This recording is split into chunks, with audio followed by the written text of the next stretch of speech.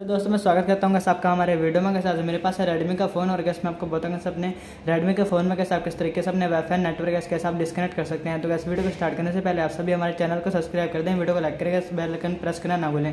तो स्टार्ट करते हैं कैसे आज का वीडियो। तो कैसे आपको यहाँ पर सबसे पहले क्या करना है? वैसे आपको सबसे पहले अपने फ़ोन सेटिंग के आपको ओपन करना है। फिर इसके बाद कैसे आप यहाँ देख सकते हैं कैसे आपको यहाँ काफ़ी सारे ऑप्शन मिल जाते हैं। तो कैसे आपको यहाँ पर एक ऑप्शन मिलता है कैसे आपका वाईफाई का। तो कैसे वाईफाई का ऑप्शन पर आपको यहाँ क्लिक कर लेना है। फिर इसके बाद गैस आप यहाँ देख सकते हैं कैसे आपके सामने कैसे वाईफाई नेटवर्क जगह से कनेक्ट है।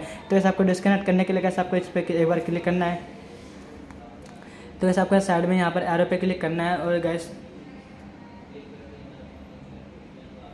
फिर गैस आप यहाँ देख सकते हैं कैसे हमारे जो वैसे वाईफाई का कुछ इस तरीके से ऑप्शन आ जाता है तो कैसे आपको यहाँ पर फॉरवर्ड पे क्लिक करना है और कैसे ओके कर देना है। तो कैसे अब जो कैसे हमारा कैसे वाईफाई नेटवर्क कैसे आप देख सकते हैं कैसे डिस्कनेक्ट हो गया हमारे रेडमी के फ़ोन में।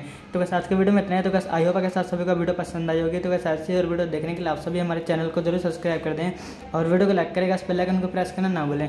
तो कैसे आप सभी से मिलता है नेक्स्ट वीडियो में। तब तक के लिए कैसे आप सभी को कैसे गुड बाय